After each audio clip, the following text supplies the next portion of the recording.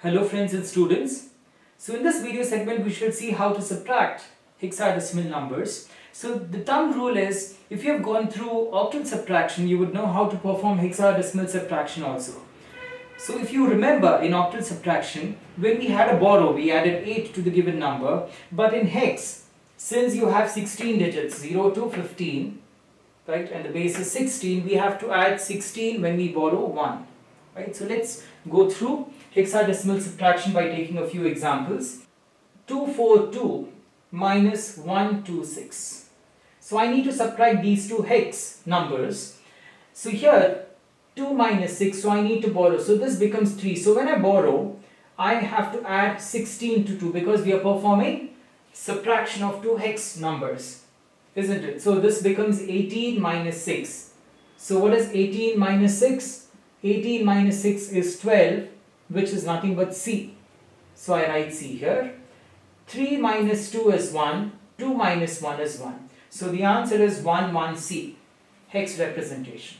So it's as simple. So when you take a borrow, you have to add 16 to the given number in hex subtraction. So let's take another example. DAB minus AEF.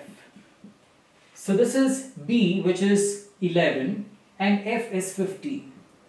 Alright? So therefore, I cannot subtract. So therefore, I need to borrow.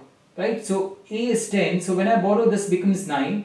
And I need to add 16 to b. So I have to add 16 to b. So 16 plus 11. So it becomes 27 minus 50.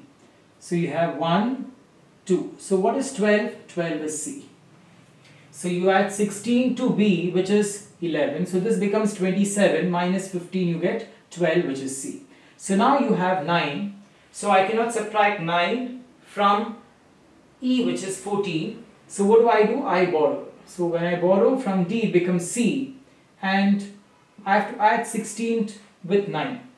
So what is 16 plus 9? It is 25 minus E is 14. So I get 1, 1, 11. So 11 is B and C minus A. C is 12, A is 10. So I have 2. So 2BC is the answer.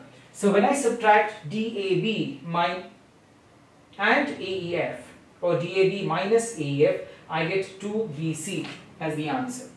So it's very simple.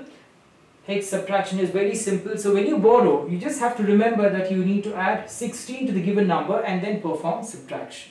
So in the next video segment, we shall see how to multiply two hex numbers.